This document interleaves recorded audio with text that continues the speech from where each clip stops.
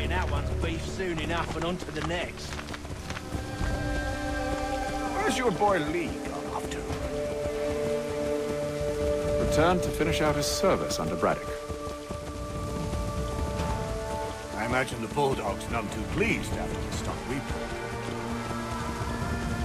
Pleased to spin a tale of my incompetence and beg forgiveness.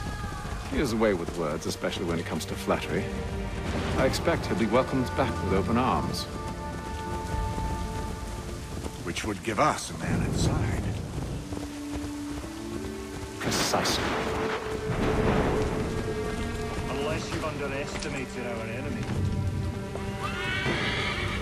If I have, Charles will sense it first and make his escape.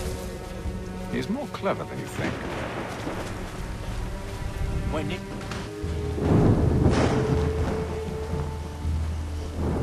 I see you've been busy.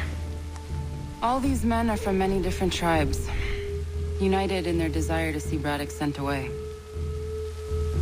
The Abenaki, the Lenape, the Shawnee. And you? Who do you stand for?